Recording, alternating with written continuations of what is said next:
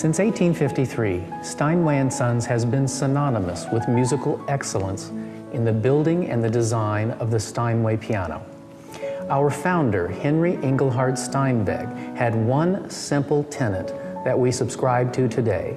Simply build the best piano possible, period.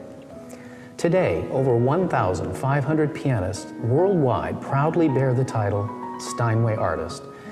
What is so remarkable about this distinction is that these are not paid endorsers, but they choose the Steinway piano because of the love of their craft. As president of Steinway & Sons for the Americas, I am often asked what components within a Steinway piano contribute to this unique and imitable Steinway sound. Considering a piano is comprised of over 12,000 parts, it is a little difficult to determine which ones are the most prominent. But I think as we all know, the soundboard of the piano is perhaps the heart and soul of any piano. And Steinway & Sons in 1936 had an innovative breakthrough. We developed what is known as the diaphragmatic soundboard that essentially allowed the piano to vibrate more freely, creating a warmer, richer, more resonant sound for a longer, sustained period of time. The action in any piano is an extraordinarily important part of an instrument. And in 1936, Steinway & Sons patented the accelerated action. This was a revolutionary breakthrough which enabled the performer to extract whatever sounds, loud or soft, they wished to get from the instrument.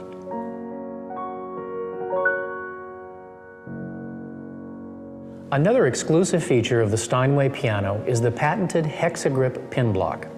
The pin block is an integral part of the Steinway piano in that it holds the tuning pins in place using hard rock maple construction angled at 45 degrees in laminations. It is this particular hexagrip design that enables the Steinway piano to withstand any climatic conditions and maintain its tune for extended periods of time.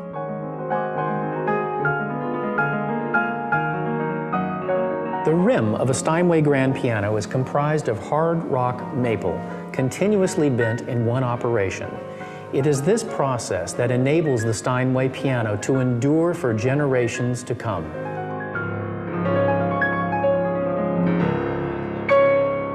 The scale of each Steinway piano is the sum of all of its components. And one specific component which is extraordinarily important to every grand piano is the cast iron plate or frame. This component is so important to Steinway & Sons that we own and operate our own foundry using Bell quality castings to make the Steinway plate. The duplex scale, a Steinway invention, adds color to every Steinway piano by enhancing the termination of each individual note.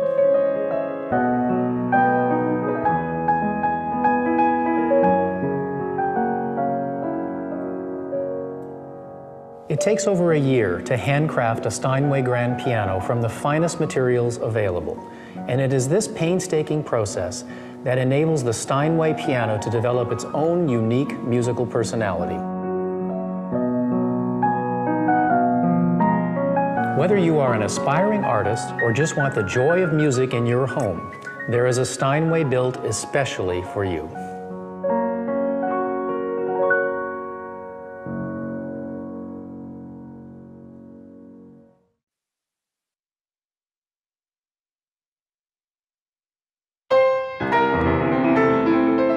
Boston Piano was designed by Steinway & Sons to meet the needs of those with a desire to own a high-quality piano and to join the Steinway family. By employing the unique patents and expertise that have made the name Steinway synonymous with musical excellence, Boston pianos achieve a level of quality, tone, and performance that is far superior to any other instrument in its price range. Since its launch in 1992, thousands of Boston pianos have been sold to institutions and individuals around the world. Boston pianos can be found at major music festivals and in music schools, houses of worship, and the homes of those with a love of music. There are a number of key features that truly elevate the Boston piano into a class by itself in its price range. The single most important component of any piano is the soundboard because it projects the beautiful tone produced by the instrument to the musician and all who listen. It is the heart and soul of the piano. Each Boston soundboard is crafted of solid Sitka spruce, long proven to be the most resonant material available. Boston soundboards are perfectly tapered, which allows them to vibrate more freely. The result is a powerful, sustained tone. In comparison to other pianos of the same size, the Boston Grand Piano offers a larger soundboard due to its innovative wide-tail design. This creates the power, richness, and feel of playing a much larger piano. The action of a Boston piano has the same geometry and many of the same features found in a Steinway piano, including all wood parts, never plastic. The result is proven durability as well as heightened responsiveness and control. By providing the musician with a greater level of responsiveness, tone, and playability, the Boston piano allows advanced players to enjoy a concert-level quality of sound, and those less advanced to discover and develop their true potential. The case or rim of a Boston grand piano clearly shows the design legacy of Steinway & Sons at work. Boston pianos have a hard rock maple inner rim, a feature found in only the finest pianos. With a hard rock maple rim, more sound is redirected back into the soundboard, rather than absorbed as it is by softer woods. One of the many proprietary Steinway & Sons innovations, the patented OctaGrip pin block can be found only in Boston pianos. The key benefit to this feature is a smoother pin turn and more consistent pin torque, which allows for a more precise tuning and enables the piano to stay in tune longer. Some other key features of the Boston piano that benefit from Steinway innovations include radial bracing to strengthen the foundation of the piano and enhance tone, pear-shaped hammers to ensure superior stability and more powerful sound, bridges made of vertically laminated hard rock maple for optimum sound transmission, and a duplex scale for harmonic richness of tone and longer sustain. Boston uprights take advantage of many of the same Steinway design features as Boston Grands, as well as some of the Steinway family features specific to uprights. Massive staggered backposts provide a solid foundation for the soundboard, ensuring that tone is enhanced rather than drained.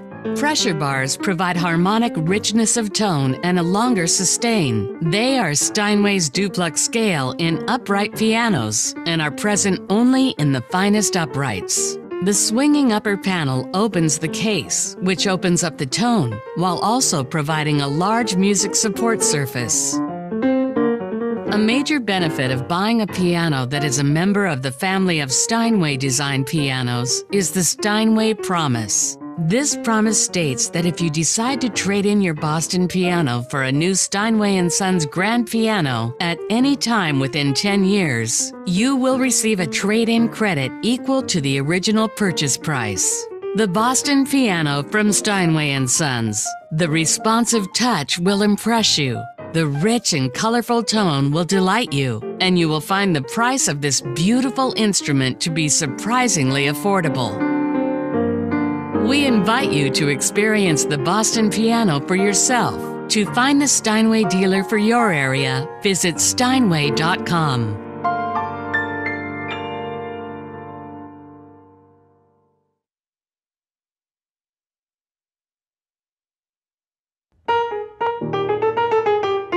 Essex piano was designed by Steinway & Sons to ensure that beautiful piano styles and finishes are possible in every price range. An Essex piano is a surprisingly affordable option for those with a desire to own a high-quality piano and to join the Steinway family. By employing the unique patents and expertise that have made the name Steinway synonymous with musical excellence, Essex pianos achieve a level of quality and performance that is far superior to any other instrument in their price range. There are a number of key features that set the Essex apart from other pianos in terms of quality and value. The single most important component of any piano is the soundboard because it projects the beautiful tone produced by the instrument to the musician and all who listen. It is the heart and soul of the piano.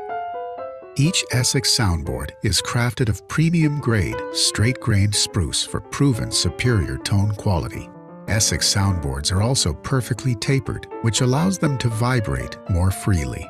The result is a powerful, sustained tone in comparison to other grand pianos of the same length, the Essex Grand Piano offers a larger soundboard due to its innovative wide-tail design. This larger soundboard means a richer sound.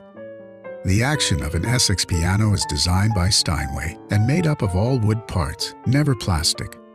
The result is proven durability as well as heightened responsiveness and control. By providing the musician with a greater level of responsiveness, tone, and playability, the Essex piano allows advanced players to fully express themselves musically and is a perfect teaching piano, allowing those less advanced to discover and develop their true potential. Steinway designed a grand piano bracing system and upright back assembly to provide a solid, stable platform for the soundboard radial bracing on the grands, and massive staggered backposts on the uprights creates a solid foundation for the strength and stability of the piano and the beauty of the Essex tone. The pin block of an Essex piano is made of hard maple and layered multi-directionally to grip pins from several directions. This ensures a tight fit and uniform pressure on the tuning pins. Hundreds of cut threads on each pin grip the pin block to keep the piano in tune for longer. Some other key features of the Essex piano that benefit from Steinway designs include a plate made of gray iron that is over-engineered to provide strength to support the enormous string tension. Hammers made with premium-grade felt and metal ligatures to deliver optimum performance. Bridges of vertically layered maple for better transmission of sound from the strings to the soundboard and tension and duplex scaling that ensure a longer sustaining tone and added harmonic dimension.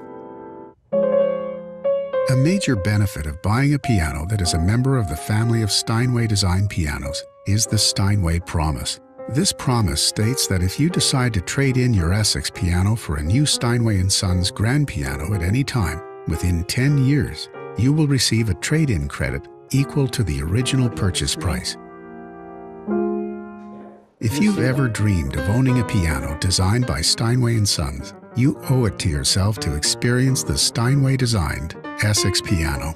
The Essex, available in a wide selection of finishes, sizes, and styles, delivers a level of playing experience and value previously unattainable, enabling Steinway to meet its goal of offering a range of pianos that satisfies virtually every need, skill level, and budget. We invite you to learn more about the family of Steinway Design pianos and to experience the Essex piano for yourself. To find the Steinway dealer for your area, visit steinway.com.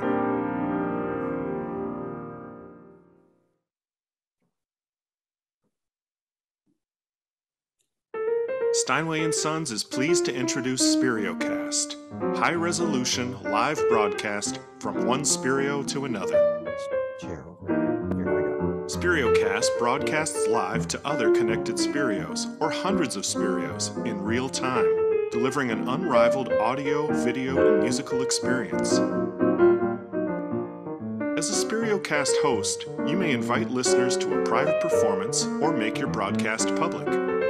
Once you go live, video and audio from your iPad will be transmitted to the listener's iPad or any connected device, such as a television and when you play, the listening Spirios will perform along in real time. Start a live session, schedule a public performance, teach a masterclass, or hold a remote audition.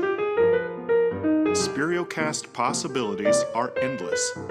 Whether you're a listener, teacher, presenter, or an artist, Spiriocast revolutionizes the experience of live, remote performance.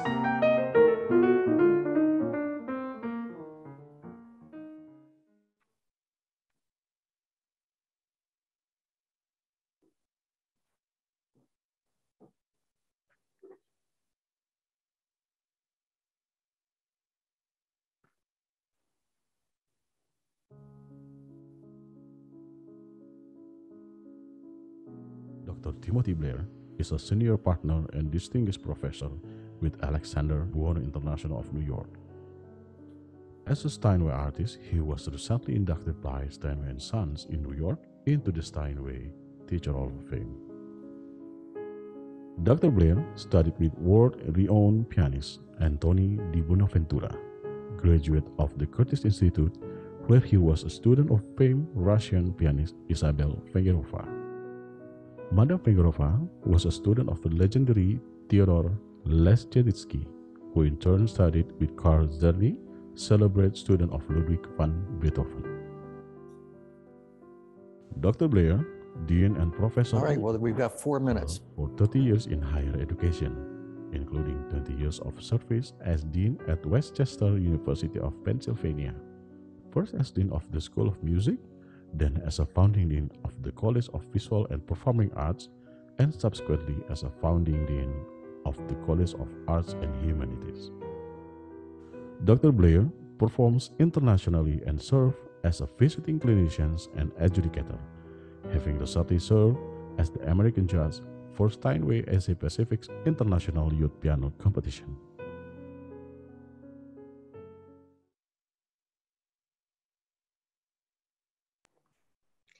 Selamat malam para pecinta musik, sahabat House of Piano dan Steinway and Sons Indonesia yang kami kasihi. Pada malam yang istimewa ini, kita kedatangan tamu yang luar biasa dari Amerika Serikat, Dr. Timothy Blair. Beliau akan mengajak kita semua untuk mengarungi seluk-beluk mengajar musik melalui instrumen piano.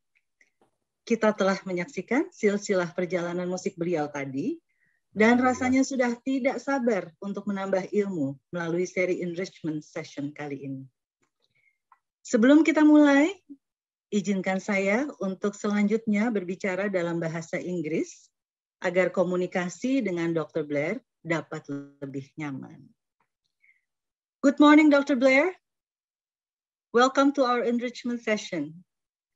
On behalf of House of Piano and Steinway and Sons of Indonesia, we would like to thank you very much for your enthusiasm in sharing your knowledge and adventures in piano teaching with us in Indonesia. It is an honor for us to have you as our expert guest, and we sincerely hope that you will have a wonderful time with us Well, they today. said they would unmute us when it was time. To open our session their today, commercial right now, which is interesting. to open our session today, I would like to invite Mr. Diki Salim as the retail manager of House of Piano to say a few words. Okay. Thank you, Mrs. Aisa. Okay. Hi. Good evening, everyone, and a very warm welcome to all the participants of Steinway enrichment session this evening, the technique of memorization, presented to you by House of Piano and Steinway and Sons Indonesia, supported by Boston and Essex Piano. A very special welcome to Dr. Timothy Blair, who is now joining us all the way from the United States of America. And also Mrs. Aisa Sudarso Pletzer as our moderator. Thank you for your support and kindly be a part of our Steinway enrichment session. We are very pleased to have so many participants this evening, including piano students, piano teachers, music teachers, parents, music lovers, best greeting from House of Piano. Steinway Enrichment Session is one of House of Piano event which has been created and dedicated to enrich the knowledge of the participants. We are very determined to be a part of supporting and developing the skill of pianists and teachers and also the progress of classical music in Indonesia. This is why House of Piano is not just providing the best musical instrument, but we also provide an inspiring edu and educational event. We hope that what are you are going to learn so many valuable knowledge tonight, which will be useful to escalate your skill in piano touch and technique. Stay healthy and always keep a positive mind and spirit. Thank you once again, and we hope that you will enjoy tonight's Steinway enrichment session. Okay, I will pass to Mrs. Aisa for continue this event. Thank you. Thank you very much, Mr. Diki. Next, we are going to hear a little bit about Steinway Teacher and Educational Partner Program, or what is um, known as STEP program, a program which is initiated by Steinway and Sons. I would like to invite once again Mr. Dickey Salim to introduce the program. Okay, thank you again, Mrs. Aisa. Hi again, everyone. I will explain our new program uh, in short presentation with Bahasa Indonesia. Okay, I will uh, share screen uh, the presentation to all of you.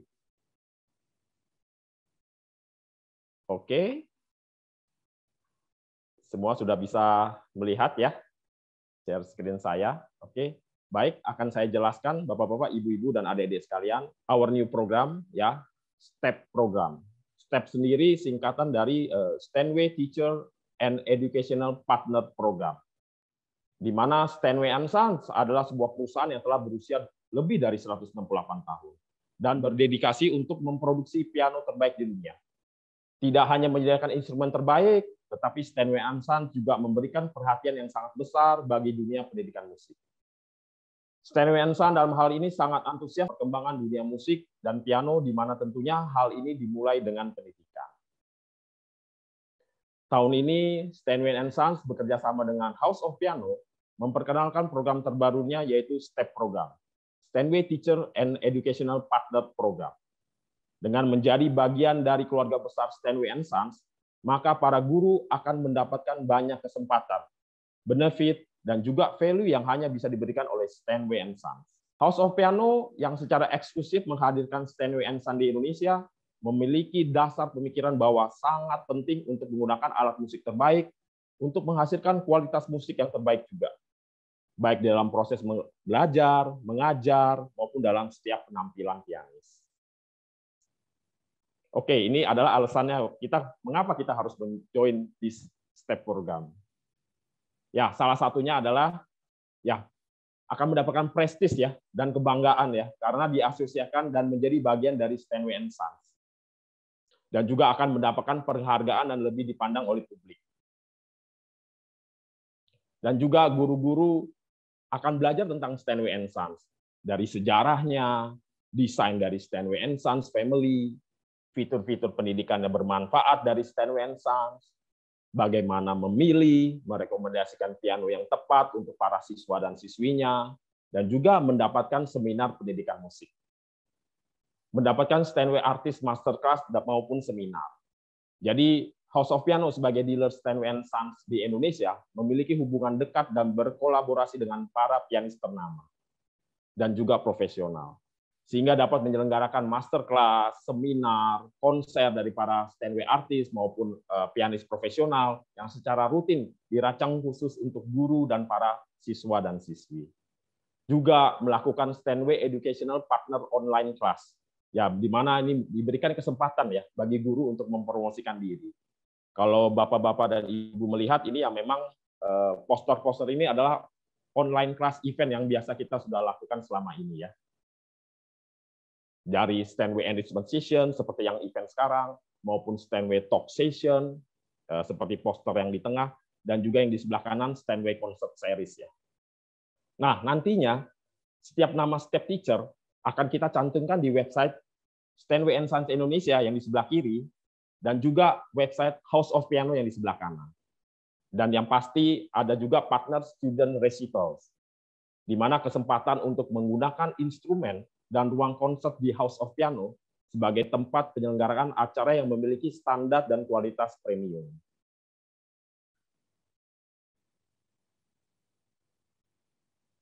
Serta step teacher pasti akan mendapatkan complimentary tiket untuk acara-acara yang diselenggarakan oleh House of Piano.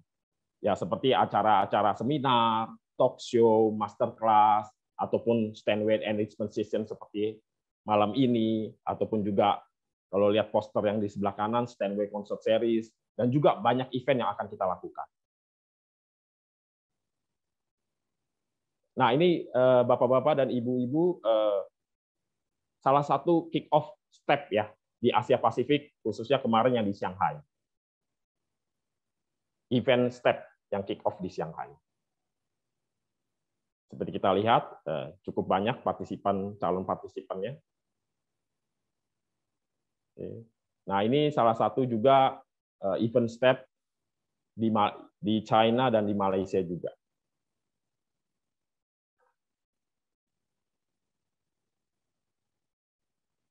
Nah, untuk program dari step teacher step program ini ya ada dua yaitu Stanway Educational Partner yang di sebelah kiri dan yang di sebelah kanan Stanway Honorary Professor. Di mana memang uh, untuk Stanway Educational Partner ini mempunyai kriteria ya uh, sebagai berikut ya memang para kandidat atau calon harus uh, memiliki jurusan pendidikan baik pertunjukan piano, piano pedagogi, ataupun pendidikan piano performance, ataupun lainnya. Juga merupakan lulusan dari Akademi Musik, Konservatori, atau Akademi, Akademi Seni, ataupun juga universitas umum baik di dalam maupun di luar negeri. Juga memiliki dan menggunakan setidaknya satu unit piano Steinway, Ensemble, atau juga piano Boston, atau juga piano SS dalam proses mengajarnya. Dan juga menyertakan rekaman ya, rekaman dua rekaman ya, video pertunjukan dan juga video mengajar ya. Serta juga disertakan surat rekomendasi dari dealer Steinway Sons di Indonesia yaitu House of Piano. Juga menyertakan surat rekomendasi dari Profesor Steinway ataupun Steinway artis atau guru Steinway yang bergabung dengan STEP. Ya. Sedangkan untuk Steinway Honorary Professor, kriterianya adalah memang yang Eh, pengajar piano yang berpengaruh. Juga mempunyai dan menggunakan satu unit Steinway Grand satu unit Steinway Grand Piano untuk mengajar. Hanya untuk undangan dari SAP tidak menerima aplikasi dan juga menjadi pengajar di Doreta Steinway University. Uh, ini adalah uh, prosedur ya, prosedur dari para kandidat step application. Jadi prosedur yang memang harus dijalankan, tetapi tidak usah khawatir Bapak Ibu, dikarenakan memang nanti House of Piano sebagai uh, dealer resmi Steinway Sons di Indonesia pasti akan membantu untuk semua proses-prosesnya.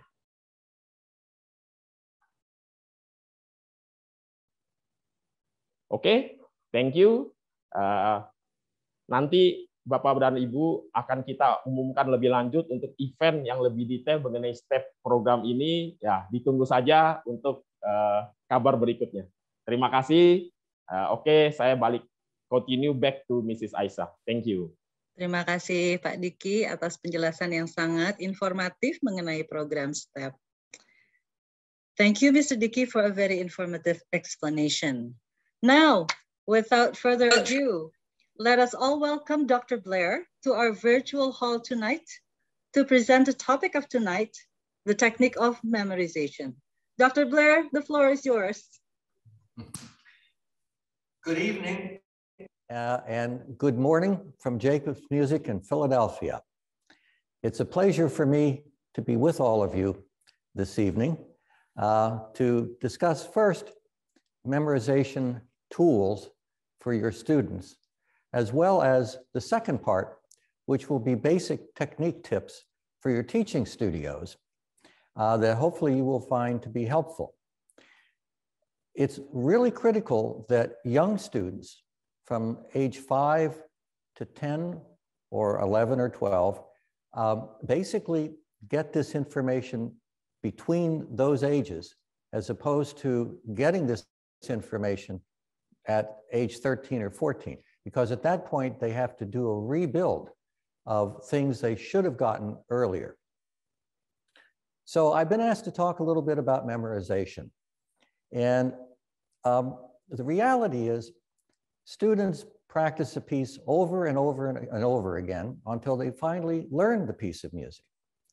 And then at that point, usually they're told, okay, uh, now go and memorize the music. And at that point, it's really not in chronological order of the way they should have started to memorize, which should begin in the very beginning of learning the piece. And if you will look at uh, your slide, you will see four skill sets, cognitive, visual, tactile, and aural. So I want to talk about those four things, and then we're going to talk about how they connect to memorization.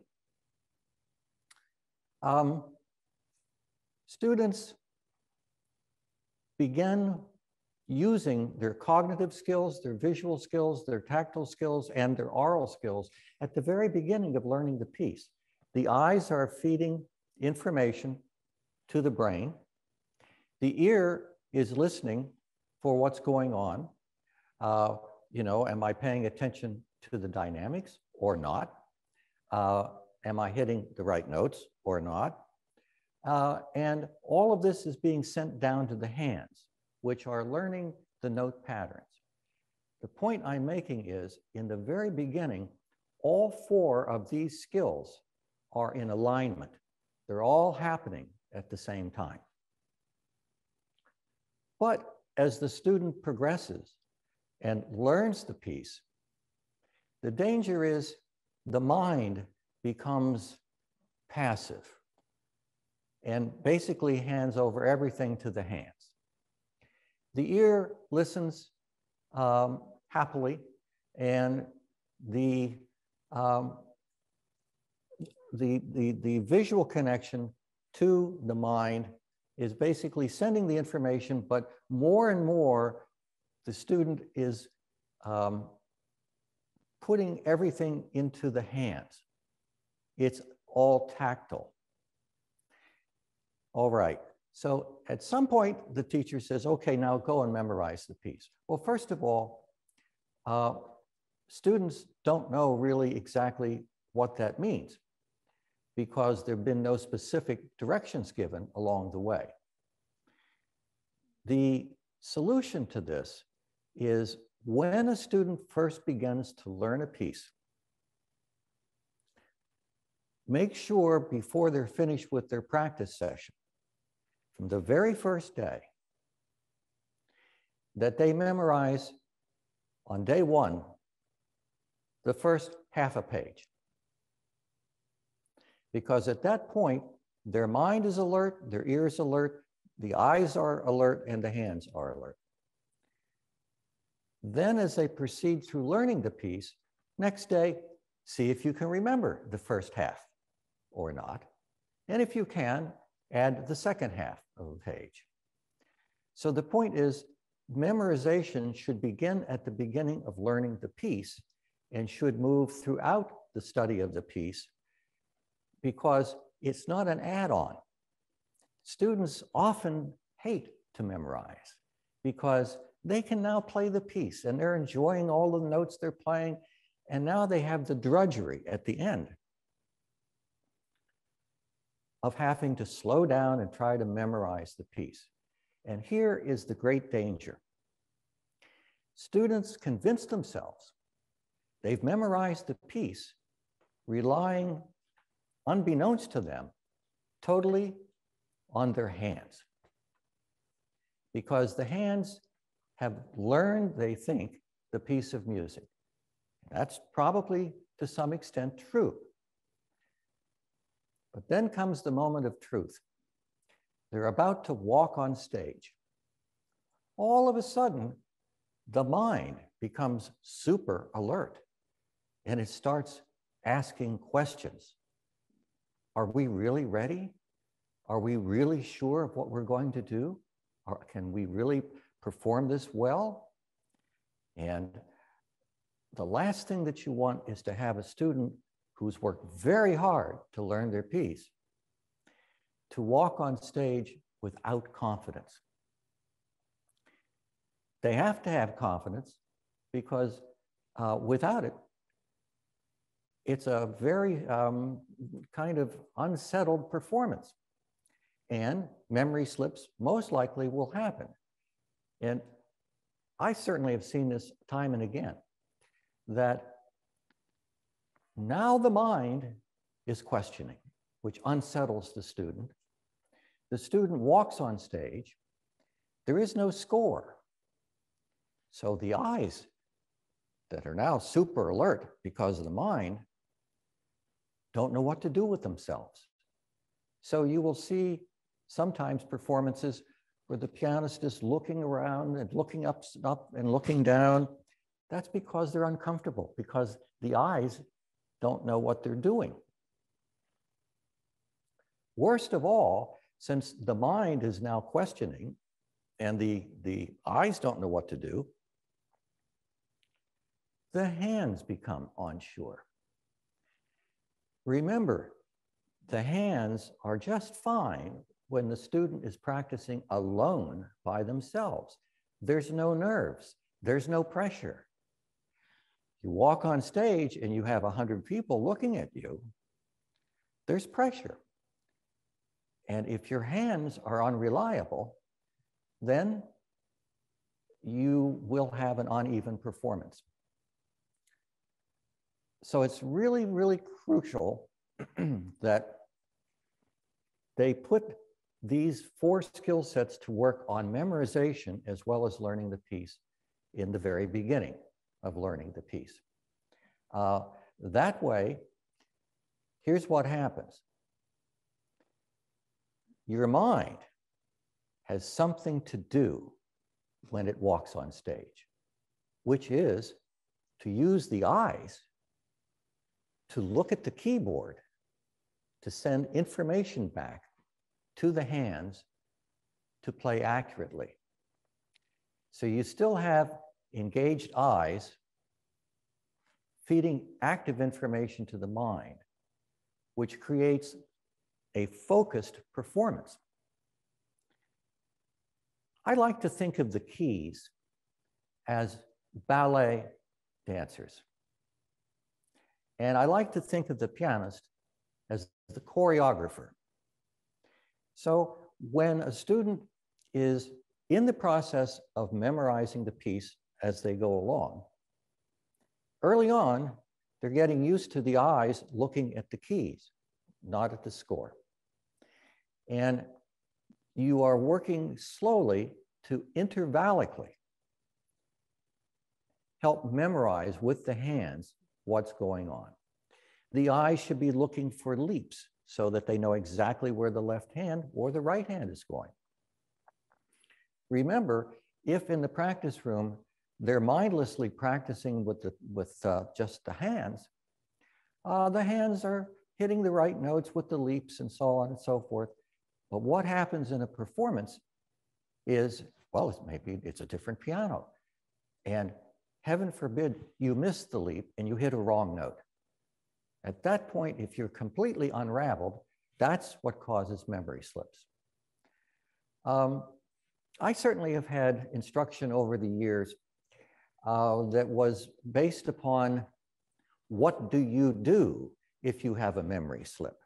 And that's very well and good. Uh, yes, you should be able to start at different places in the piece. However, that sends a message to the student that you're probably going to make a memory slip. So you better be ready to have damage control. Well, okay, but wouldn't it be better to have the student not have a memory slip and not have to do damage control? So in reality, if you take this approach to memorization, you know, when a student is learning the piece, um, they're going slowly because they're learning the notes and they're learning all sorts of things. Well, memorizing then is just one other part of the learning process. It doesn't become an add-on drudgery kind of thing at the end. Um, the next thing I recommend while they're memorizing as they go through learning the piece is uh, to take the piece at half tempo once they've learned enough of it. If you take a piece at half tempo, what you're trying to do is to find those connections with those notes where the synapses are not quite wired right. If you're at a higher tempo, somehow the hands will find their way around because that's what they're used to. That doesn't mean that they necessarily know everything that's going on. If you take that tempo down half tempo, then you have to mentally know exactly where the notes are. And, and the student can find the weak points before the weak points find them. And um, that really helps students know what to do with the process of memorization, as opposed to letting it up to them to kind of figure it out on their own and to learn the hard way that, gee, right before I walk out, you shouldn't be asking, am I all set? Am I, am I ready? They should be saying to themselves, I have done absolutely everything I know to do to prepare to successfully perform this piece. It's crucial to remove any self-doubt before going on stage to play from memory. I bring this up in particular because having a memory slip to a youngster between especially, you know, five years of age and 10 can be traumatizing. Uh, if you want to talk about what may destroy the love of music and the love of piano is to fail in front of your friends, your family, from a memory slip. So the idea is to help that child know exactly what they're doing from the very beginning from memory. Another thing I've always done with children's recitals is I've always insisted that every child bring their score. And if I had 12 students performing, I had 12 scores in my lap. And I always sat in the back of the room following along so that if for some reason the child, and it, you know, it can happen, um, gets stuck, rather than leave that child sit there in that horrifying moment of not knowing what they're doing because they don't know where the, where the, they've forgotten their notes. I get up and I put the score in front of them and I point to where to start. And they know in advance that that will happen for me. So they have, going in, they know they also have a security blanket, which removes some of the pressure right from the beginning because they know I'm there. They know I have the score. They know they can finish. So that's a very small but helpful tip just to keep your students happy to perform. Um, and that memory is not to be feared, it's to be a useful tool. So moving along, I want to talk a little bit about what I call back to basics. And these are technique teaching tips that are so basic, they tend to somehow not always happen. And these are the kinds of things that need to happen in a systematic way for young students so that their learning experience uh, is sequential, that they're adding new tools in their toolkit as they progress. They're not getting to maybe 13 or 14 and having to have a teacher say, well, you know, now these are the kinds of things we need to address and fix. That means the student has to unlearn certain bad habits. Um, and that is another reason for students dropping out of lessons. To unlearn is really rather painful because you're asking a student who's been playing, you have to stop that.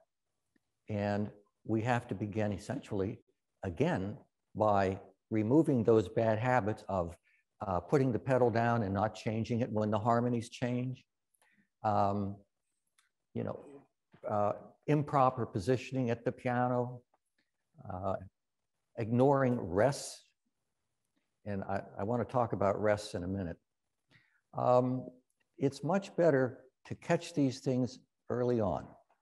So for starters, all young students come to lessons, usually they have a thumb that sticks out like this, and they have no crown of the knuckles.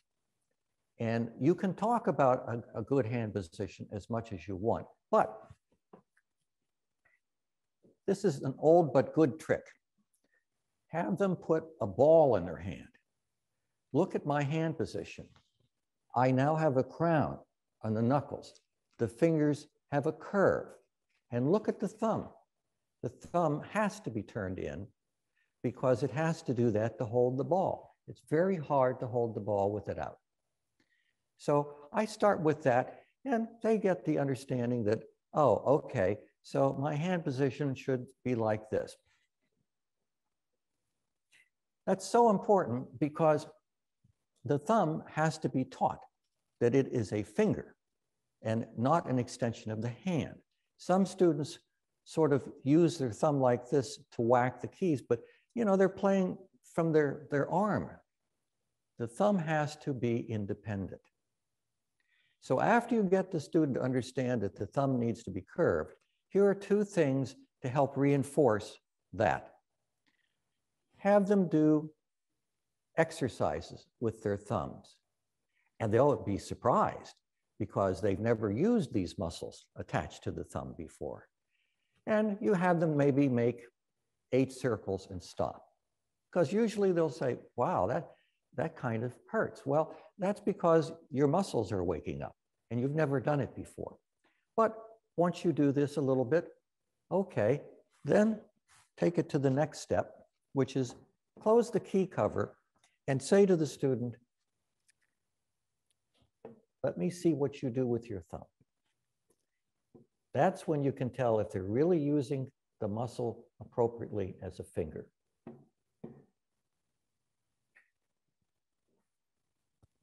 I'm always surprised when I encounter a student sitting like this.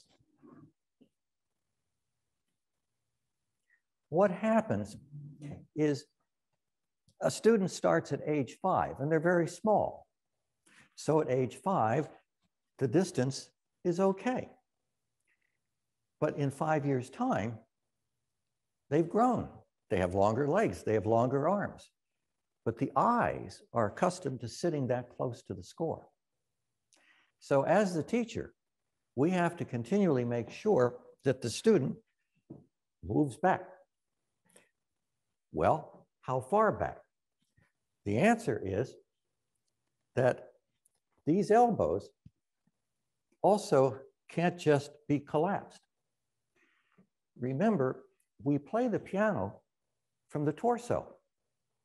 The arms have to float. So I've, uh, I've used this uh, imagery with a student from time to time. Think of yourself as a puppet. And your arm has a string connected to the ceiling, and this arm too. Well, you would have floating arms because this is what puppets do. Then they begin to get the idea that, oh, I have to support my arms. They're not like this. So it is a support from the torso. The next thing is students get fixated on their fingers. And they concentrate on this and they are so intense on what they're learning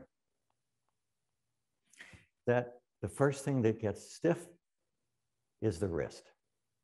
As soon as the wrist becomes stiff, all kinds of bad things can happen. Students constantly actually hurt themselves because that hurts the tendons.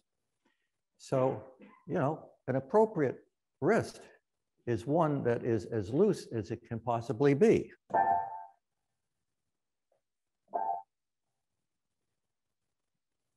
the arm plays to the fingers through the wrist.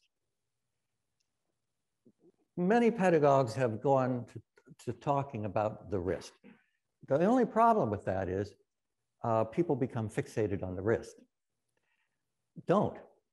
It just needs to be loose. And that's, that's what happens. Um, before I forget, and I mentioned that I would say something about this earlier, um, rest. This is another bad habit that gets formed along the way. Uh, piano students kind of equate a rest with, oh, I don't have anything to do. I don't have anything to do. So uh, they will pedal through rest so that the sound continues. This seems very basic, but the reality is silence is important because rest indicates silence and silence accentuates sound. So composers use sound and use silence with silence and rest being equally important to the notes. So when I'm working with the student, I'll tell them, okay, I know you think there's not much going on in the left hand. Well, if you'll notice, there's a quarter note and a quarter note rest. Down, up, down, up, up, up, up, up, up, up, down. I make them go through the whole piece, left hand, right hand alone, so that they understand that the note is a down motion, but they have to come up for the rest. And every time they see a rest, they have to get off the keys. And forget the pedal as uh, something that keeps the sound going so that the rests aren't heard. Um, on section B, uh, on the slides, I have uh, two entries. One is scales and arpeggios, and the other talks about various motions. And I'm going to talk about some tricks about the scales and arpeggios. You'll notice it says thumb under and the arm travels.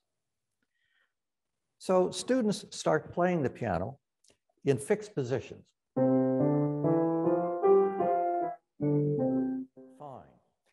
You're playing a scale, you have to get from here to here. The student does this.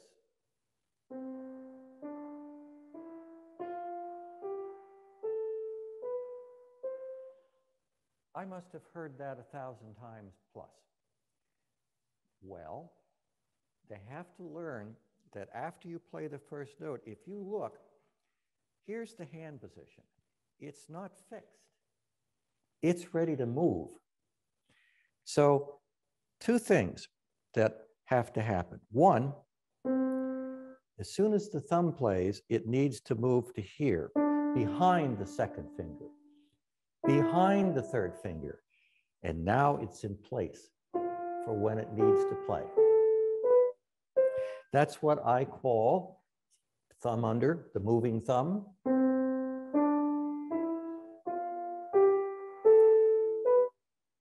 Play a scale coming down, look what happens. The fingers lead to the thumb, which allows the third finger to fall into place, and you're back again at home base.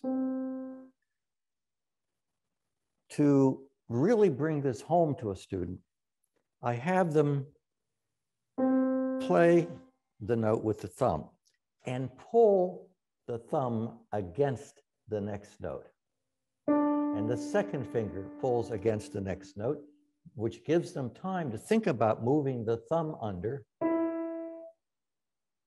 So have them do a little wiggle. Pull, pull, pull, pull.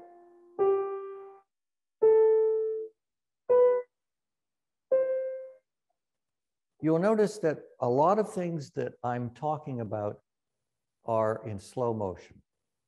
That's not by accident. In order for a youngster to really assimilate what's being taught, it has to be done slowly to give them enough time to assimilate what it is they're supposed to be doing. And when you play a scale,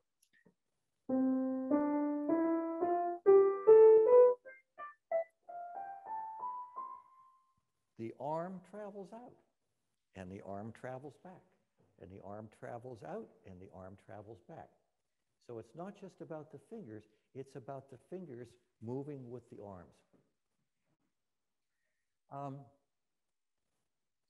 so I have a little book here that I highly recommend because once, once they have mastered scales and arpeggios, and by the way, they have to keep doing scales and arpeggios because it keeps the equipment, their hands, in shape.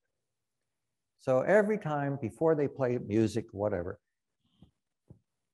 they have to really be fluent with scales and arpeggios.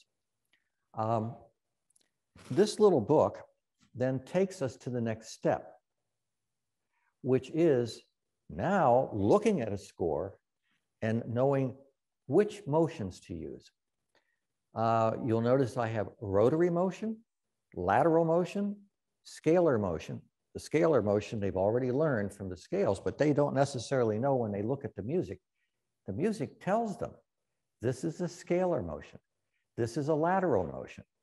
So students often learn a piece by using by accident all the wrong motions in all the wrong places till they happen to hit upon the correct motion. But if they really look at the score, the beauty is there's only really four major motions. The scalar motion, the rotary motion. Now, take a look at that. That's not coming from the fingers.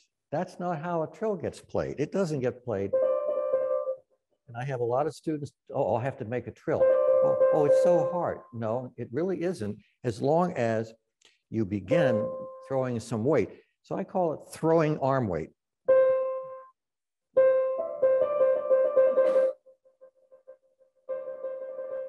If you look, that's all coming from my arm.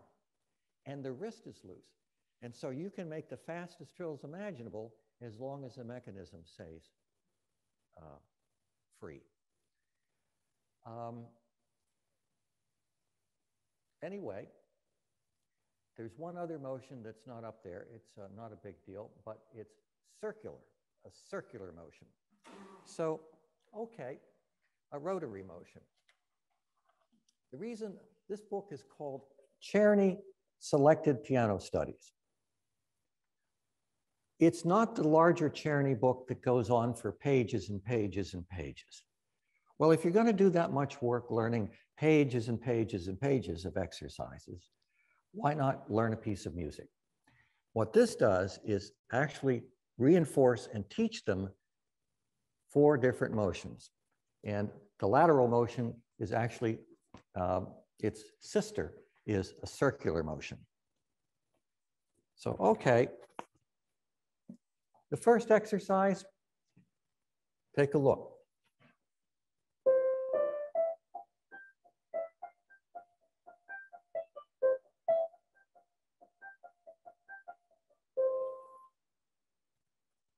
That's a lateral motion. The student has to learn that if you see five notes up, you play to that note, and the arm is going to take you there. Not this.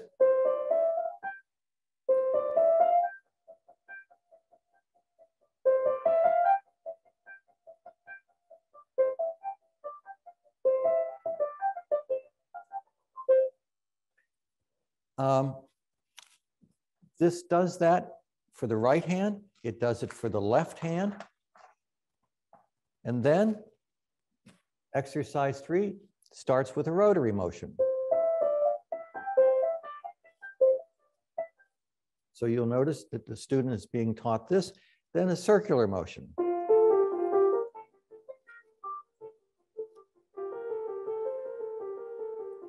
Do you see how important the arms are in terms of having to know what to do? This is circular, rotary, lateral, scalar, and I'm sorry, here's lateral. Circular.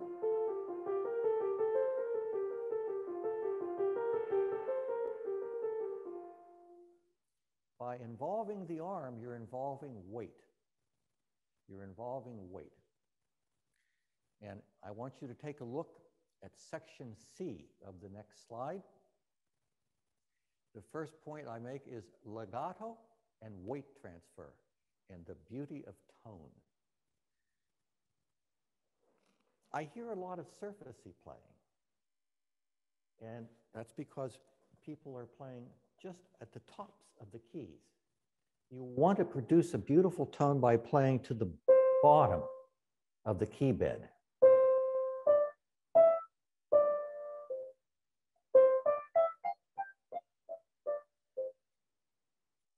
That sound is coming from the weight from my shoulders through my arms into the key bed. Um, that produces a beauty of tone that carries across the room. Uh, it's a beautiful tone, which we work for, not surfacey note playing. People say, well, what do I do with staccato? And I have students when they see the little dot and they think it's like this. No, it's, it's not hard at all. It's just you tap the note, that's all.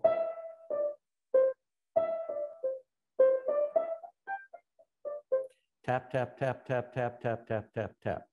Again, they have to be specifically shown how to do those things. And when I say shown, I also mean that it's important to have interactive lessons. After you've given out some information, ask the student to tell you back what they understood you to say. And then you'll find out if they fully grasped what it was you were talking about. Otherwise, they sit and listen and you talk and you're not quite sure what they're going to do when they go home to practice. Um, the two note slur. Uh, I simply say that it's a downward motion. Notice that the wrist drops only because I've just put weight into the key. And students, in an effort to get off of the second note, sometimes in the very beginning, they punch it. They have to be taught that you put the weight into the key, and then this finger is on the key, and you move through it because you're removing the weight.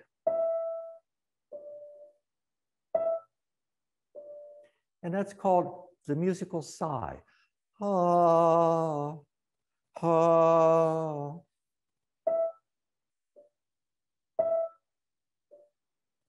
So as long as they understand they're moving through the second note and removing weight gently, then you have the musical sigh. Phrasing. Uh, we're all teaching students initially to play in time, to count, uh, you know, we have bar lines for measures. And so students sort of take a vertical approach to music. One, two, three, four. One, two, three, four. But the composer has in mind a musical sentence, which has an arch and a shape to it. These are musical sentences. They start with an idea, they move, and they end. I use uh, an image like this with a student. When a train leaves a station, it leaves slowly till it manages to get up speed. And in the middle of the trip, you're at the highest speed. You're coming into the next station and you slow up into the station. So again, the principles can be taught with just, for young children, just basic five fingers. Here's a phrase.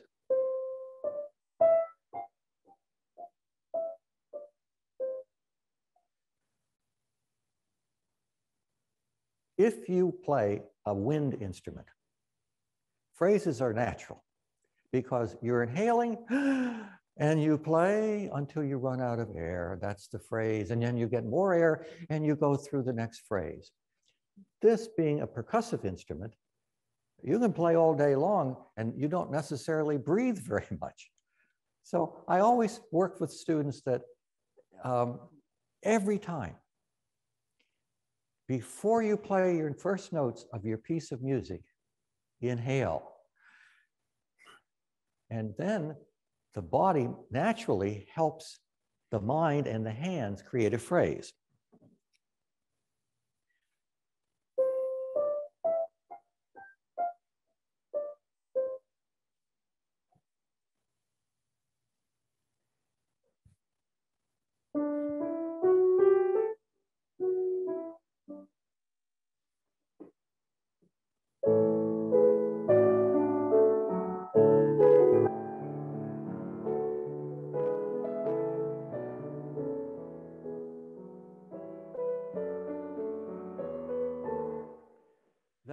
Get things to flow the way you want them to flow. Inhale.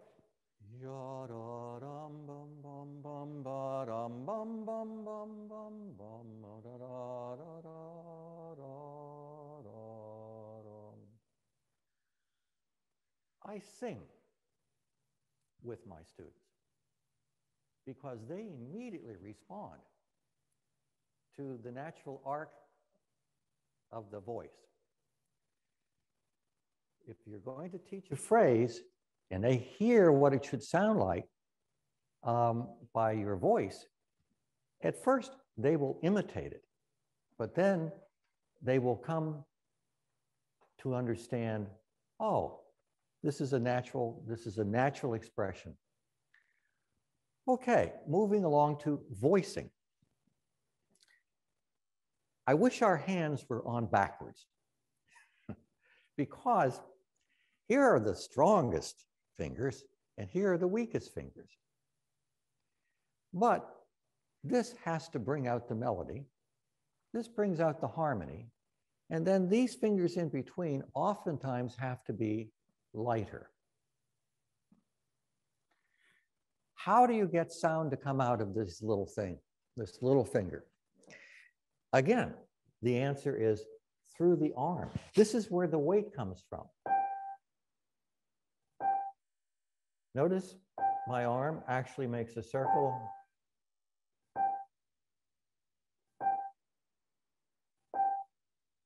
Not. That's just coming from my little finger. And even if you have the best little finger in the world, it helps if you support the sound from the arm. So have a student play a chord and have them just remove the other two notes. Notice.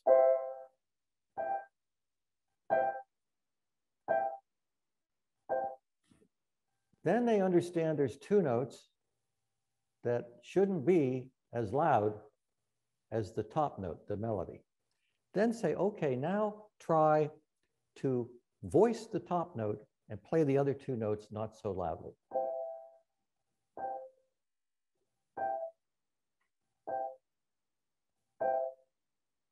That takes quite a bit of practice, but that's how you can get students to understand how to voice. The next item is pedaling. And I'm going to add to pedaling chords and how to play chords. Pedaling, I've seen students who have no idea what to do with the pedal. So as soon as they can reach the pedal, uh, and they have the proper distance to the keyboard, which you'll notice is this space and I often encourage students to put the, set, the, the, left foot on the una corda pedal because now they're grounded. Everything is in alignment. Let's say you're playing a piece and you really need a different tone palette for soft, not just coming from the keys. Well, you want to add the corda.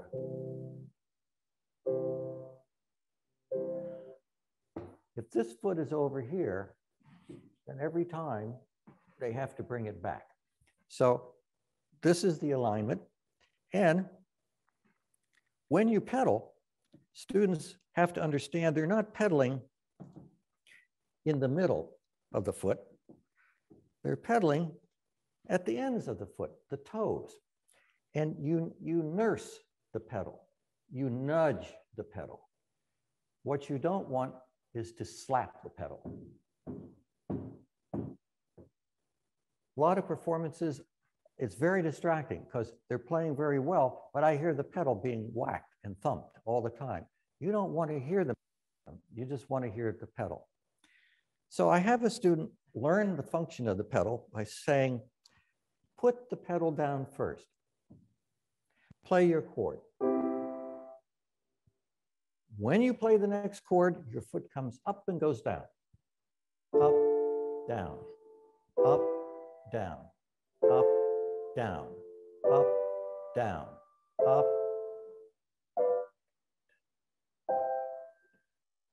You notice how easy these principles are to be taught if you just keep it simple at the keys. So now you explain that in the piece of music you're working on, every time a harmony changes, and this is why theory is important in your lessons, you have to change the pedal. Otherwise, two harmonies that are different get blurred together. And now that's a problem that has to be fixed. So let's say that hasn't been addressed early.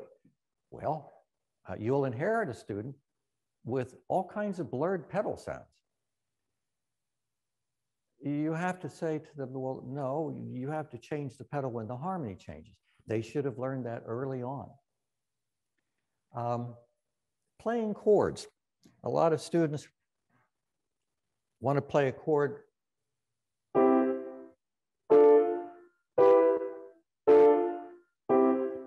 the wrist is stiff This is stiff. And they're punching things. Show them that chords come from here again.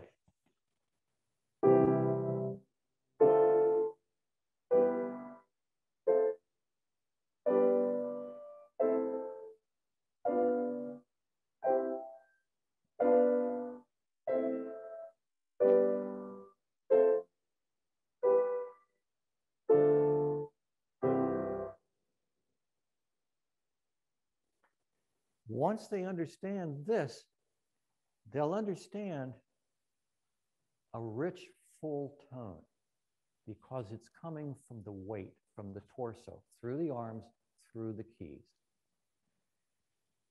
We're going to just talk a little bit about a, lecture, uh, uh, a lesson format, uh, section D, the slide. And uh, there's different schools of thought about lesson times. For younger kids, 30 minutes is about what they can absorb.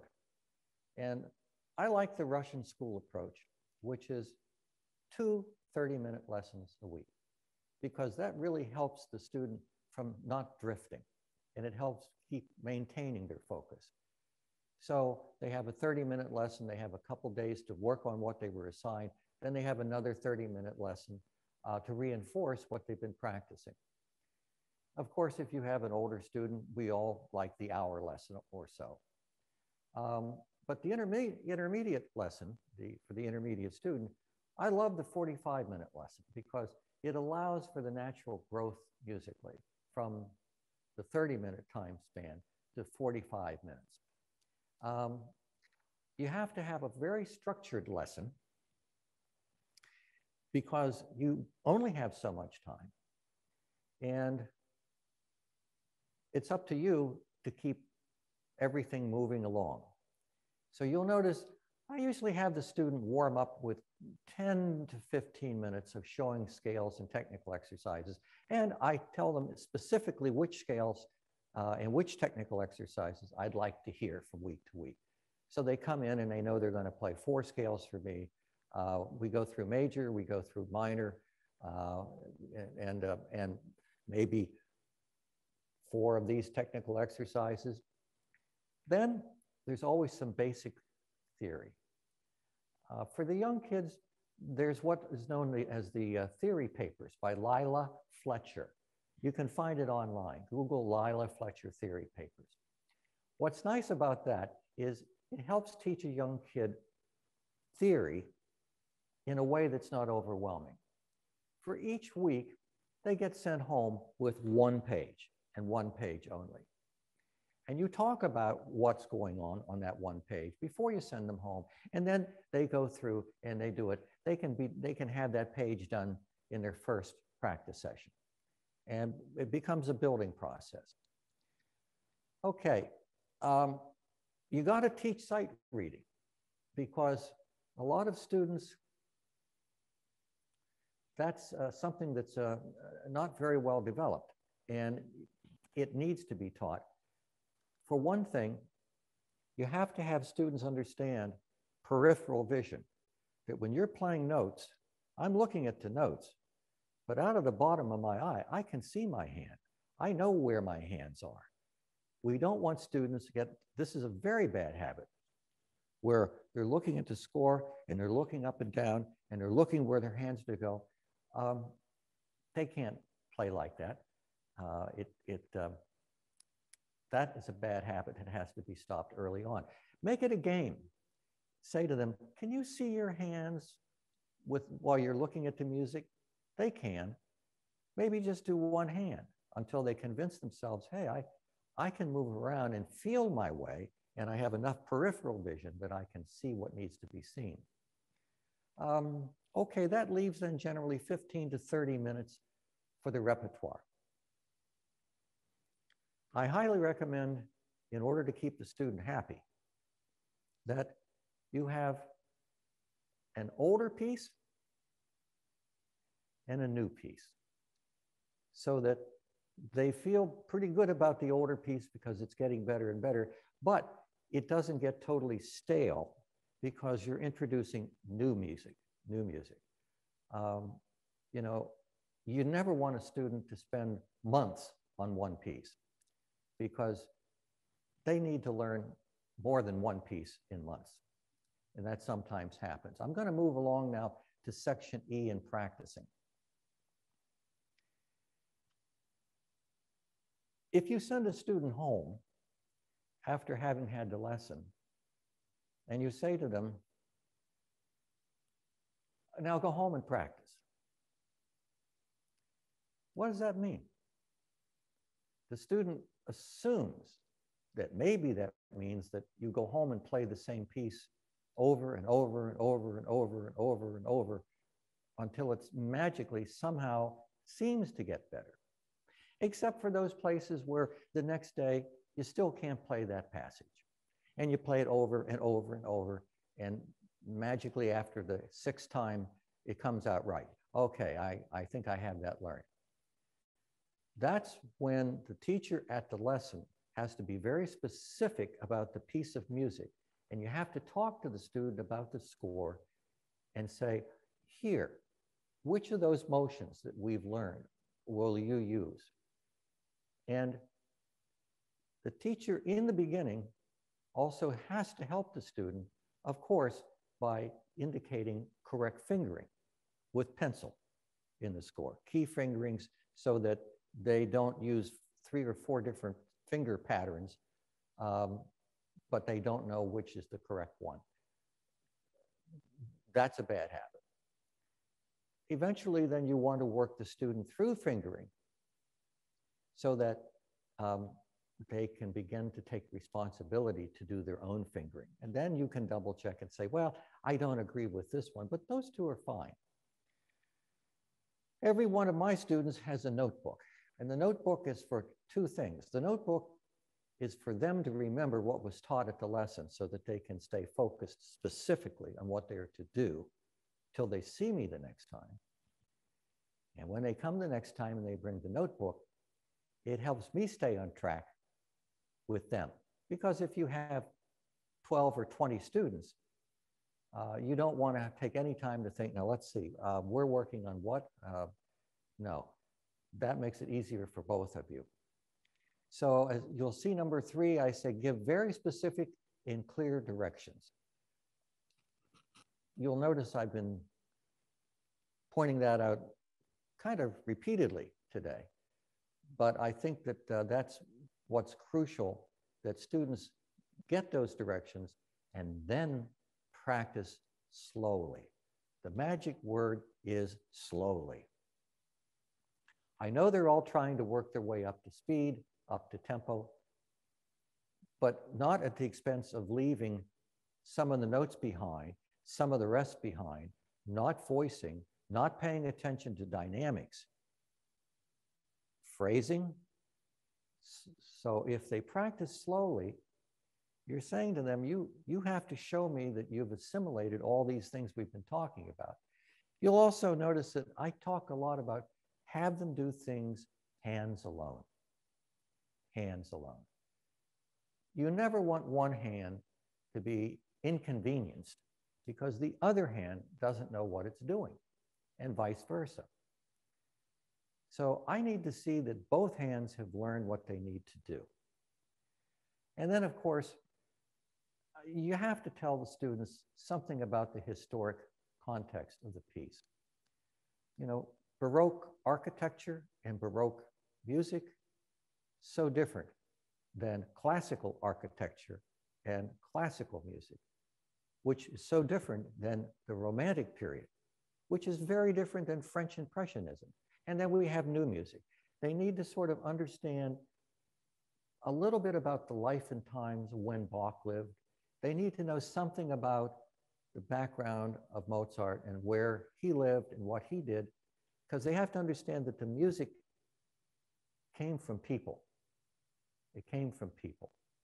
And they lived at certain times that are very different than ours. So I'm going to now just move to a few things that uh, I think are basic that we always have to remember. We don't teach piano. We teach people how to play the piano.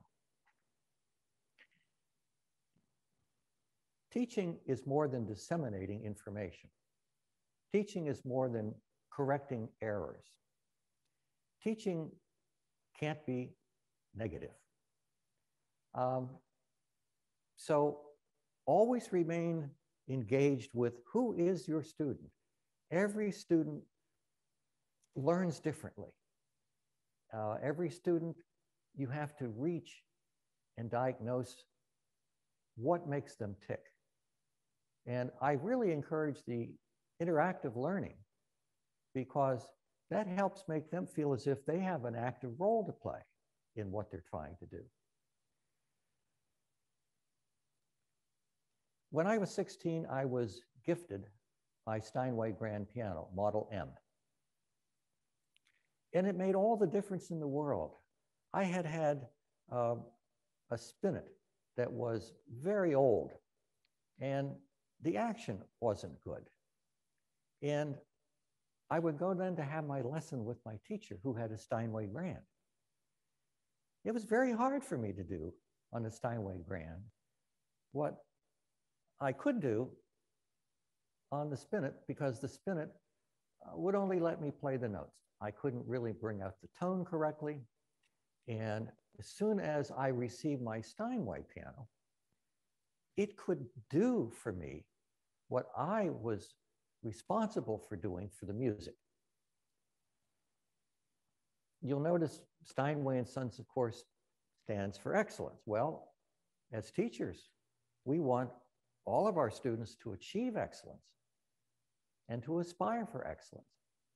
So they need an instrument that is able to do for them what it is they need to do. If you're in sports and you're playing baseball, you want the best bat and the best glove. If you play tennis, you want the best tennis racket. Well, the same goes for the piano.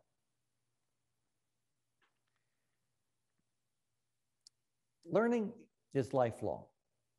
Continuing education is lifelong.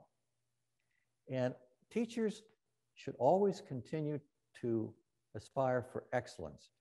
We can never learn too much in this life. It's vital to continue to be engaged with finding new ways, validating some of the ways that you're using and everything in between. That means you have to stay up to date with developments uh, in education, psychology, technology, through seminars and continuing education, just like this STEP program provides for you. You want to have a growth mindset, and you want to be a role model for your student who will be watching you very carefully because as they grow and learn, you are a critical part of their life. And can you ask anything better than to be a teacher and to take a student who cannot do something one day and help them do it the next day? Thank you very much.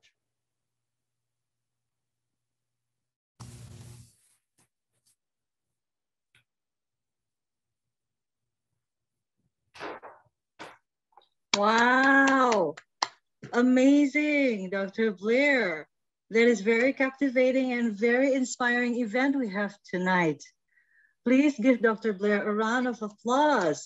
My goodness, you really have um, summoned up uh, how many years in 45 minutes or one hour. Amazing. Uh, it was, uh, it's basically 40 years in 40 minutes. Uh, it, and, and I have to tell you, I'm doing this at eight in the morning. It gets even better at 10 in the morning.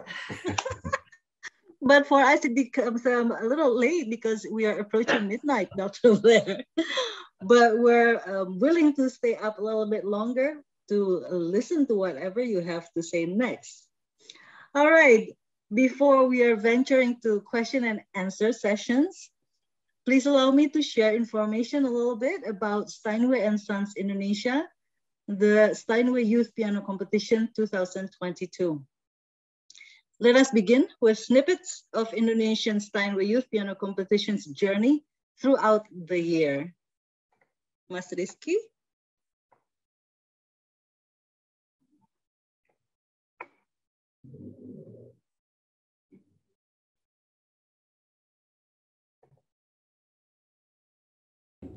enjoy the process of learning.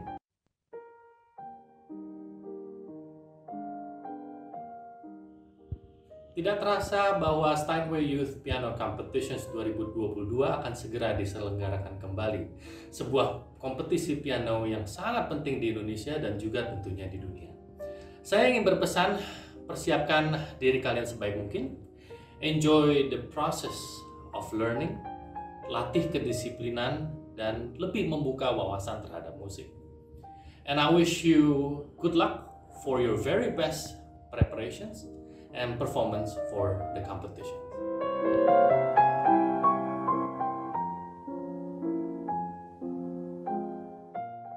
Mempersiapkan kompetisi piano melibatkan bukan hanya dari segi aspek teknik saja, tetapi juga dari aspek musikalitas, mentalitas, dan psikologis yang sehat dan motivasi yang benar juga kenapa kita mau mengikuti kompetisi piano.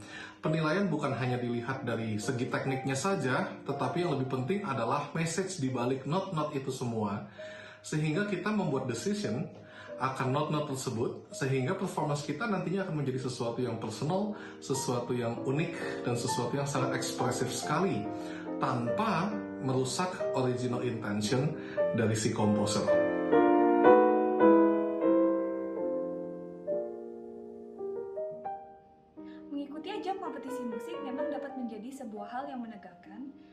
janganlah dijadikan sebagai sebuah. Semangat dan mental untuk menjadi seorang juara haruslah ada dalam proses persiapannya, tetapi ketika sudah di panggung, fokuslah untuk menampilkan usaha terbaik dari diri kita. Mainkanlah musik yang tulus dari hati kita, sehingga para pendengar dan diri kita sendiri bisa menikmati apa yang kita sajikan. Dengan begitu, proses kompetisi pun bisa menjadi sebuah hal yang menyenangkan.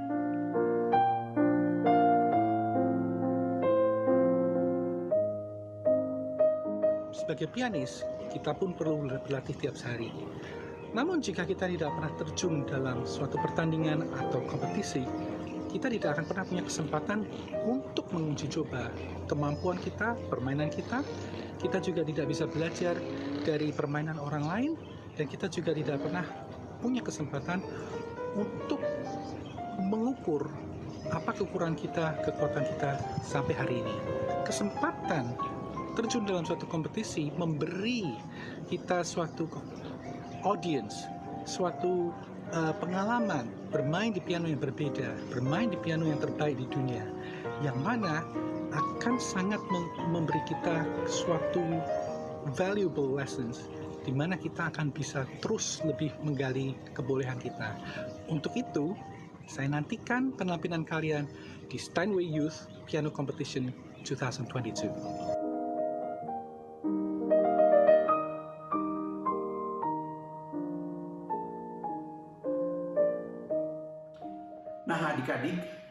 Kalian telah mendengarkan semua komentar, pengalaman, dan juga uh, nasihat-nasihat dari para juri Steinway Competition sebelumnya.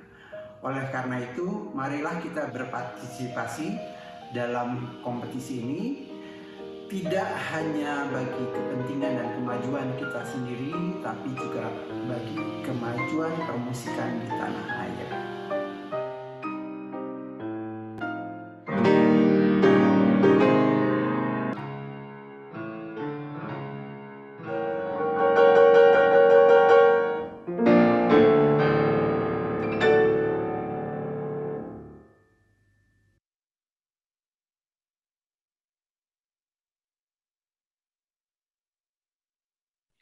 So that was the journey of Indonesian Steinway Youth Piano Competition from 2012 until 2020.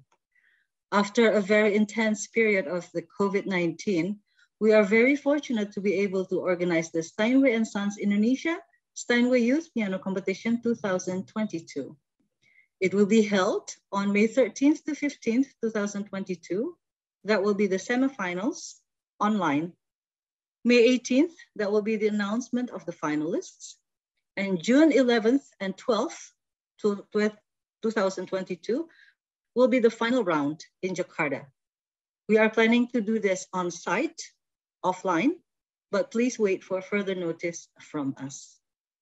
The winner will be representing Indonesia to bigger events, Steinway Asia Pacific Regional Final on July 2022, International Steinway Festival September 2022, Steinway Winners Concert on December 2022.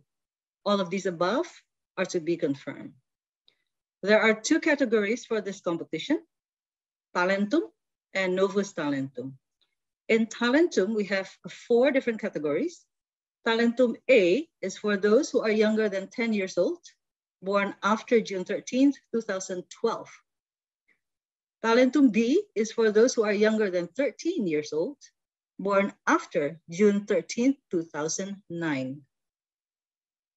Talentum C is for those who are 13 to 17 years old, born between June 13, 2005 until June 13, 2009.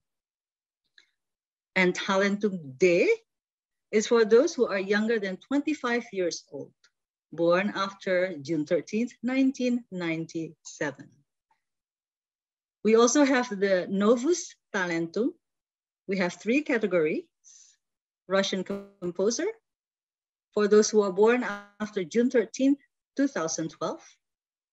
Early dances, for those who are born after June 13, 2010. And Sonatina, born after June 13, 2010. Registration for this competition will be held from February 15th to April 15th, 2022. So you have two months to register. For more detailed information, you can open the website www.houseofpiano.com to see all the requirements and download the application form. If you need further information, please contact the competition committee by phone 6221-5698-5519 or 5520 or by fax 6221-698-2555 2336 by mobile phone 6221-878-0021-8800 or you can contact them also by email isypc at houseofpiano.com. You can also see the complete information in the chat room will be provided by the House of Piano. So there are many ways to contact the committee. We cannot wait for your participation in this special event from Steinway and Sons Indonesia. Maybe uh, Dr. Blair, would you like to say a few words about the benefit of entering a competition? Absolutely. Uh, as pianists, we're rather solitary people. We spend a lot of time alone with our piano. I always encourage students to participate in recitals so that they get a better sense of how they fit into the larger picture. And competitions simply take that to a higher level because it's important for a student to be able, first of all, to play the best that they can play. That's the primary. But then by comparing how they play to others, it helps give them a better sense of where they are in their musical growth. So I really find that competitions are a valuable teaching tool in, in, and of themselves. Um, and I, I, highly recommend them. Um, and as you know, I was the American judge for the recent uh, Steinway competition. And it was uh, wonderful for me to hear so much talent and so much dedication out there on behalf of so many students. So uh, I, I strongly recommend it. Thank you so much, Dr. Blair. Okay, now let us move to the most awaited part tonight or morning is the question and answer time. Okay, let's see. All right. Are you ready, Dr. Blair? I'm ready. Let's see if we can uh, stump the teacher okay, the first question is from Josefina Villanueva. How early should I memorize a piece? Should I memorize after completing the piece or earlier? You should start memorizing from the very beginning of learning the piece. Uh, and when I say that, remember, you're still using the score as you learn the piece because I'm not advocating that you memorize so quickly that you may be missing notes and all kinds of details in the score. But by having all four tactile and, and cognitive and aural uh, and all of those skills, visual, uh, working together on both learning the piece and memorizing the piece during the learning stages, that's much better uh, to have better memory than uh, tacking it on at the very end of the process. Very true. So baby steps, see, Dr. Blair, little by little from the beginning. Baby steps, you know, um, once upon a time, I had a professor on uh, my doctoral committee walk into the class and he gave all of us uh, two phrases at our desks and said, you have 10 minutes to look at these two phrases and then each of you are going to come up and show us what you can do from memory. And I had never had that happen before. And I don't think many of us had. But we all did pretty well. And it surprised us that what you could learn from here using the eyes to the notes very early and very quickly is going back to your material about cognitive um, memorization. Yes. Okay, now we have a second question, Dr. Blair. Brace yourself. We have many questions tonight. Um, it's from Stefiani Januar. I have encountered some students who cannot memorize. We tried with the usual practice, then singing, then with visual emission too, but they said they just can't. What are the ways would be helpful to help them memorize?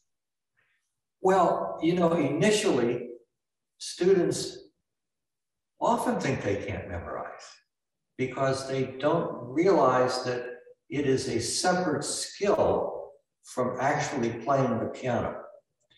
And they need to be taught to use their eyes to look at their hands. And you know, you use the word baby steps. Well, if you say to a student, without looking at the score, can you play the first phrase? How much can you play? And then stop and say, okay, don't concentrate on what you can't do right now. Concentrate on what you just did right. And then take another small step and just do it right. And then tell them they have to reinforce that by then doing that repeatedly so they feel comfortable with it. What I think most students uh, get confused about, they think memorization should be fast. Mm. Yes. Well, it's not. It's it's not fast. Uh, and it, by contrast, it's actually slow. And so they get frustrated because they try to play maybe the whole piece and they can't. And then they say, I can't memorize. They have to be encouraged to, to succeed at what are baby steps so that they build confidence that, yes, you can memorize. Look what you just did. That's that when I encounter a student who says that, that's exactly the way I go about it. Um, I don't find singing to be helpful at that stage because it's really a, a mental thing about understanding that you're looking at a keyboard now, not the score, not all the notes, and you're now having to tell your hands what to do from here. So make sure they're not discouraged. They can do more than they think. Baby steps, positive encouragement. Positive, wow. positive encouragement, um, and no pressure. Pressure really makes people not be able to do what they need to do. So baby steps with encouragement tends to work. Amazing, Dr. Blair. You make it seem so easy. Okay. Well, it, you know what? I want to say something about that. Mm -hmm. It's an old expression. The devil is in the details. and so sometimes we overly think things and make things highly complex, and we forget to focus on the smallest things. And the smallest things build into larger things. So. Perfect. So I think uh, this this lead into the next question um, is by Rinaldo Linville. Good evening, Dr. Timothy. I'm intrigued by the statement you have addressed that some students were traumatized. Either it was a piece or by teacher's statement, which makes them fail to memorize the piece or decided to quit the instrument. I knew it was tough to regain their trust in music since there's an adage that said, broken glass is cannot be repaired in a perfect way since it was already shattered. But sometimes there is a way to make the glasses whole again. In general, how can we boost their confidence again to learn and memorize music and heal their wounds at the same time? Thank you.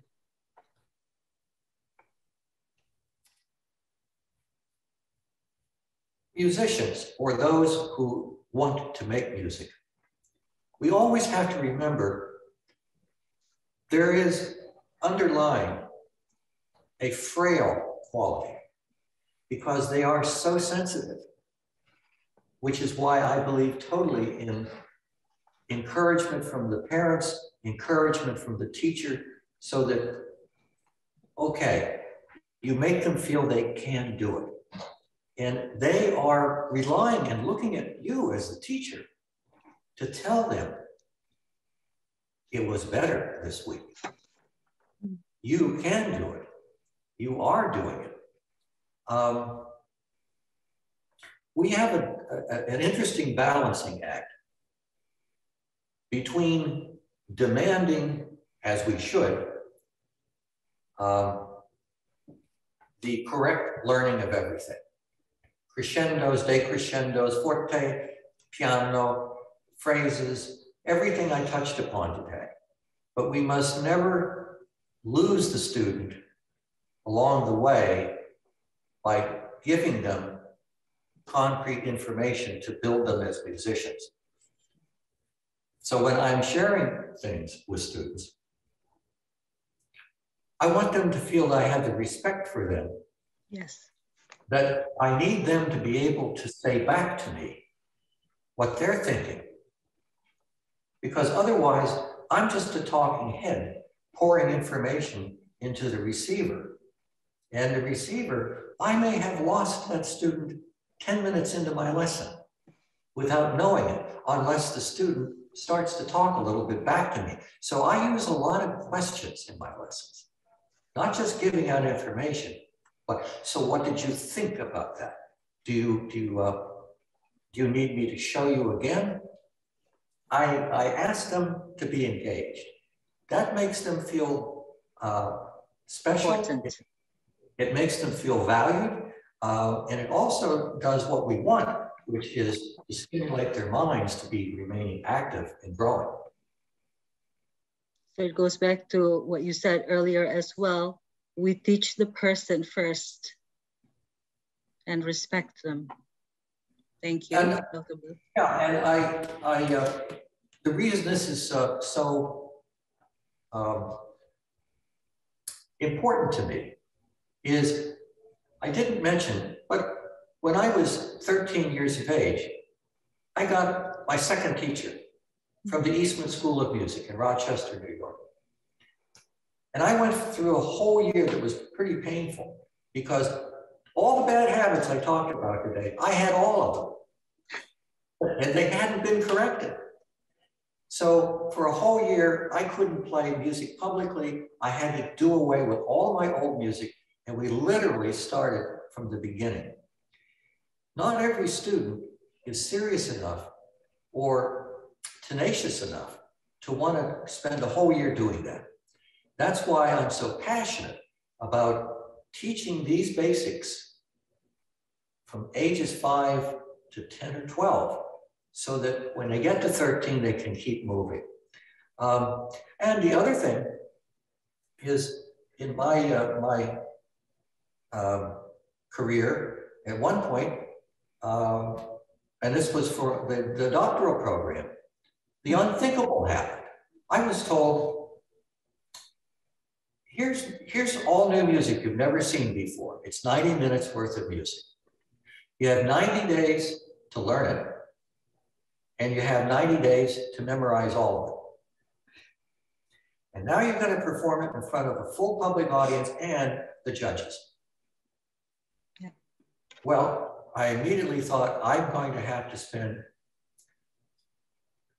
six or eight hours every day, which I broke up into chunks so that I didn't go, you know, paralyzed in my mind. Um, but I realized on day one, I don't have the luxury of playing the piece over and over and over and over and over again, and then trying to memorize it. I knew I didn't have the time. So I taught myself to learn the piece from memory incrementally as I learned the piece. Um, and it worked. So that's how I know it works because I actually did it. And that was with a lot of pressure. What I'm advocating is make memory just a natural part of the learning process first. Wow, yes. Um, I can totally relate with that pressure. Thank you, Dr. Blair. One more uh, question for you. So for those who have not been answered, the question, Dr. Blair will answer directly after this, after the, after the event is finished. Dr. Blair is going to write email answering all your letters, uh, questions, sorry, and House of Piano will give them to you directly through emails or WhatsApp.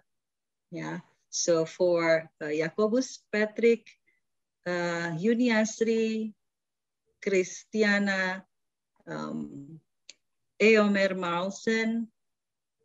We will uh, try to contact you later on with the answer from Dr. Blair. We have a lot of questions. So the last, last uh, the last question tonight, Dr. Blair, is um, how can you make a child love music from the first lesson? I would remove the word make. We don't want to make a child love music. From the beginning, we want to help the student to love music. Um,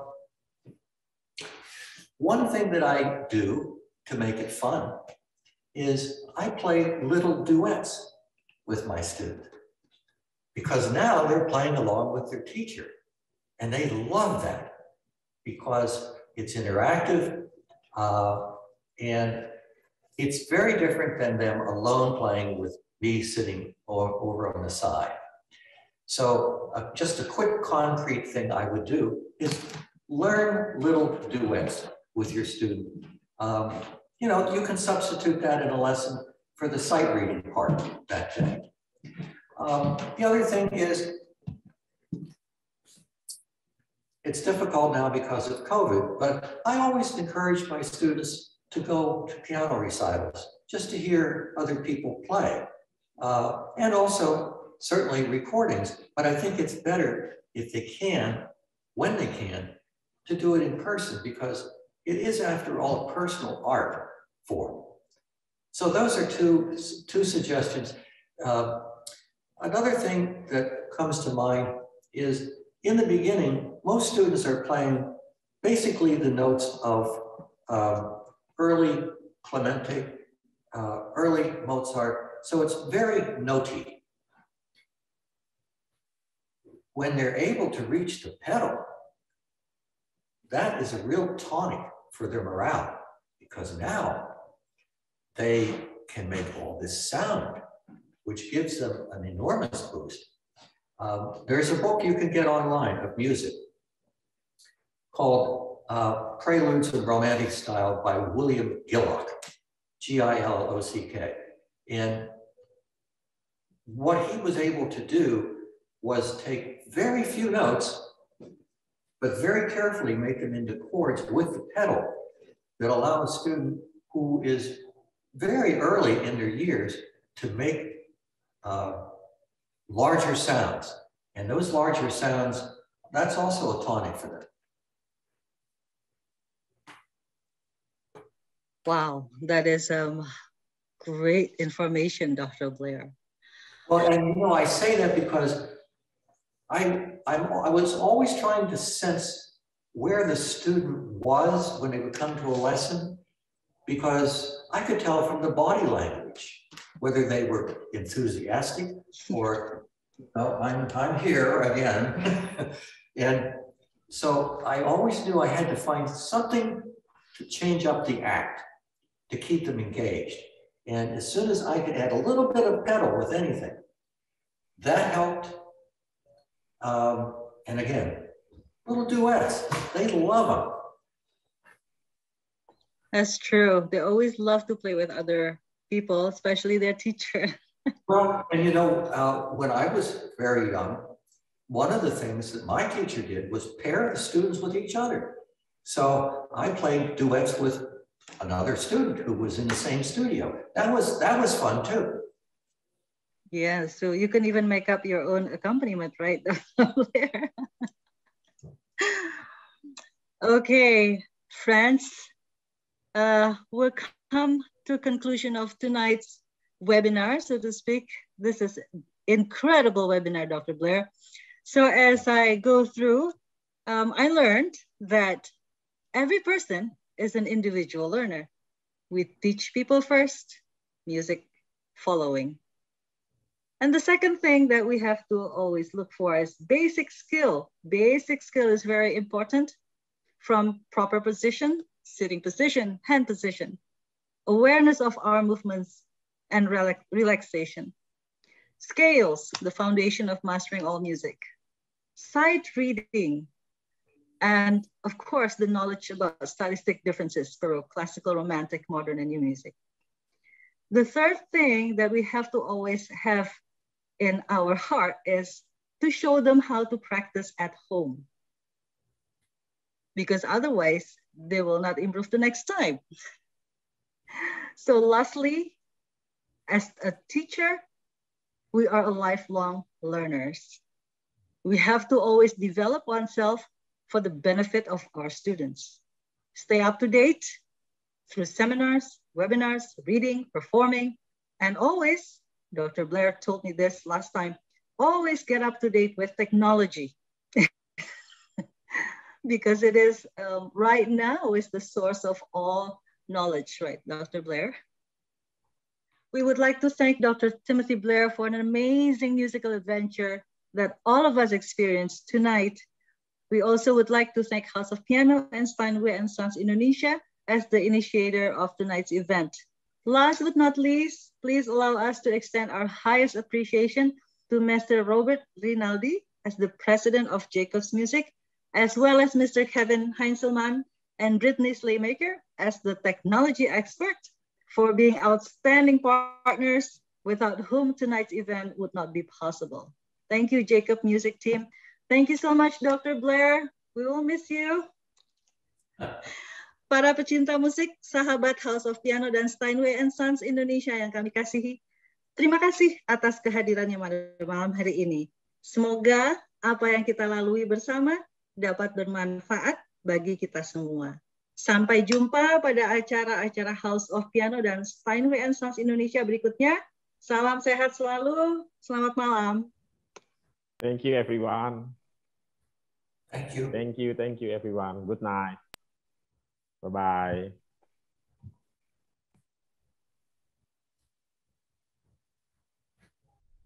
bye.